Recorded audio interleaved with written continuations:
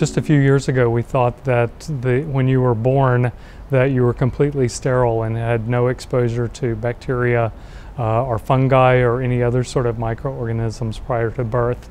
But recent studies suggest that the amniotic fluid that surrounds a baby may in fact have bacteria present in it uh, that may be important in helping set that early immune response uh, for babies as they're born.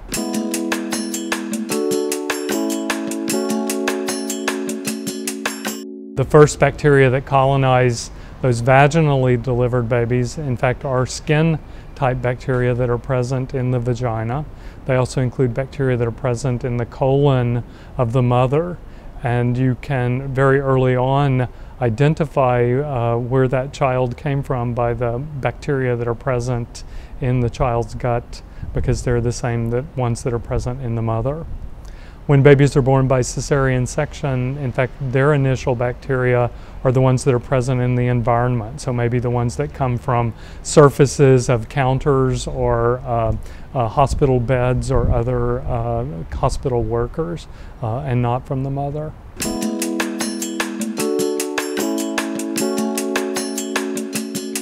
Breastfeeding uh, provides a couple of great sources for helping establish um, what we think of as a healthy microbiome. Uh, early uh, recent studies show that in fact there are bacteria present in breast milk and that these are passed into the infant and can actually be recovered in their bowel movements, meaning that they are passing all the way through and establishing in, in the newborns. In addition to those bacteria, breast milk uh, makes up to 200 types of carbohydrates that are not found elsewhere, and those carbohydrates seem to help with nutrition of the newborn as well as uh, establishing a home for those healthy microbi microbiota.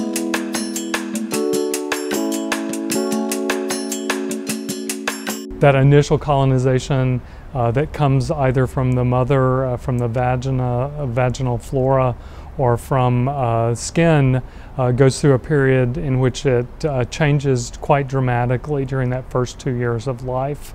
Um, after about two years of age, up until mid adulthood, it's fairly stable if you get antibiotics or go through environmental stress or even change the types of foods you're eating, then that bacteria can change uh, quite dramatically in a very short period of time. Um, the types of bacteria that are present are, are quite diverse um, and vary a great deal between individuals. But as you get older, that diversity seems to go away. And one of the questions is is that a natural occurrence or does it have more to do with lifestyle and activities and foods that older adults are eating?